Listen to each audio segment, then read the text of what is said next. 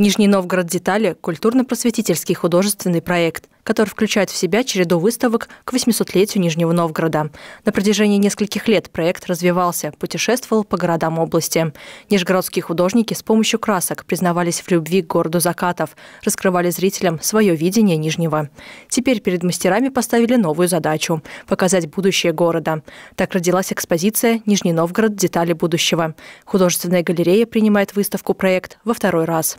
В этот раз кураторы выставки э, галерея «Луна», Нижегородская галерея, наши хорошие знакомые э, Ксения Федосеева-Царицынская и Мария Богданова предложили художникам по фантазировать о будущем Нижнего Новгорода. Поэтому и выставка называется «Нижний Новгород. Детали будущего». В экспозиции представлено более 30 произведений современных нижегородских художников, среди которых имена хорошо известных саровскому зрителю живописцев и много новых молодых авторов.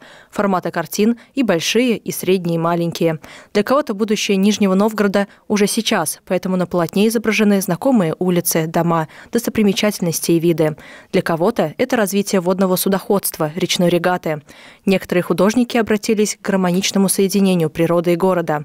Разное будущее города отобразилась на холстах сочными красками, поэтому выставка получилась яркой, солнечной, цепляющей глаз. Выставка получилась яркая, интересная, и молодежь на этой выставке прозвучала не, ну так, особенным голосом, потому что 2024 год э, объявлен, Нижний Новгород объявлен молодежной культурной столицей, и поэтому э, молодежь на этой выставке действительно рассказала о том, что их волнует, как они воспринимают этот город. Выставка «Нижний Новгород. Детали будущего» будет представлена в художественной галерее по 12 марта.